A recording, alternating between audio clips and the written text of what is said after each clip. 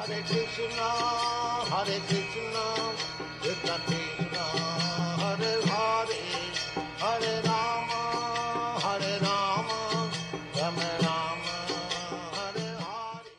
diseased man will try to cure his disease instead of trying to find out how he got the disease. Similarly, Srila Prabhupada says we should think how to get out of this material world instead of figuring out how we got into this world. What is the main instructions which Prabhupada is giving us? We should uh, better spend time thinking about how to we again join Krishna rather than thinking about how did we come here in the first place. Where were we originally? With Krishna in Goloka Vrindavana. And there are a lot of other devotees serving him, right? There's so many and we were also one of them. There, Krishna is the center. So everybody, all the gopis are making garlands for Krishna.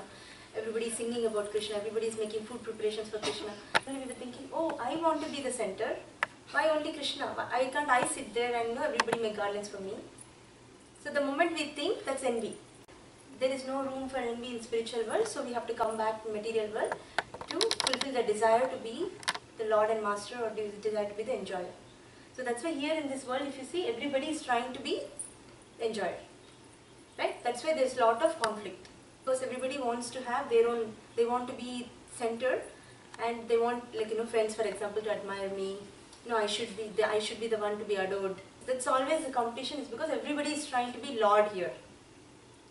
And that's not possible, that's, that results in uh, frustration. So once we have come here now, Prabhupada is telling that actually we should now, instead of thinking about how we got here, we should think about how we go back and join Krishna. So what is the way we can go back and join Krishna? To love Krishna. Yes. So when we love Krishna back again and we don't have that envy anymore, we are qualified to go back to Krishna again. So now the question is, how do we attain love for Krishna? What are the different processes? Prahlad Maharaj is talking about nine processes of devotional service. Who knows? Nine processes of devotional service.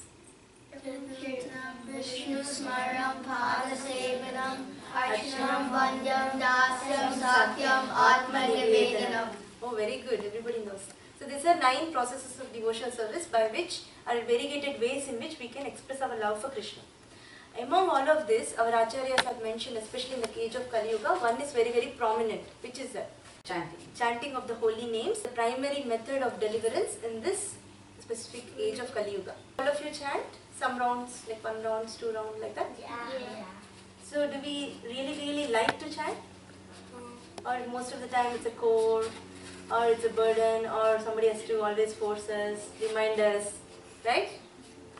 Right? So we don't really have taste for chanting. So why we don't have taste for chanting? Because we don't love Krishna. We don't love Krishna. See, for example, uh, give a practical incident. If so, chanting is we are just calling out of the names of the Lord again, and again, right? Hare Krishna, Hare Krishna. So we are calling out the name of the Lord. So if you don't have love for a person, how can we call that person's name again and again? Like a mother, for example, if she has a small child, often all the time she talks about the child.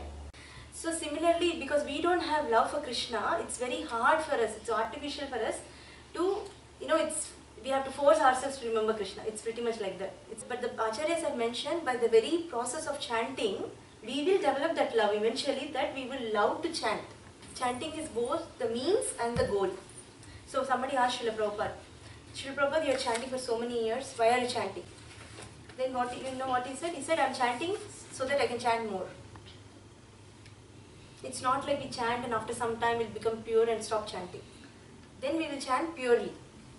Then we'll be so much in love with Krishna, we cannot stop but chanting. Another example related to the disease, whenever the jaundice person eats a sweet, like sugarcane juice, it tastes very, very bitter for him.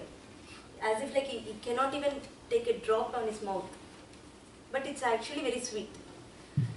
So that's a symptom of this jaundice disease. That sweet sugarcane juice tastes very, very bitter. But you know what's the cure for jaundice disease? They have to drink sugarcane juice. And then finally it cures the disease in such a way that eventually that tastes very sweet.